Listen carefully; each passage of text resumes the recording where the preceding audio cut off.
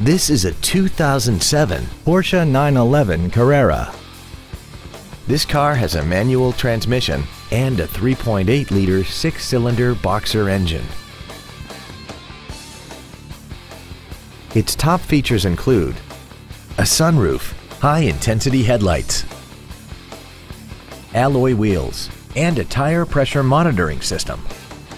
The following features are also included. Air conditioning with automatic climate control, a split folding rear seat, cruise control, a CD player, a driver airbag, full power accessories, a home link feature, a rear window defroster, a keyless entry system, and this vehicle has less than 29,000 miles.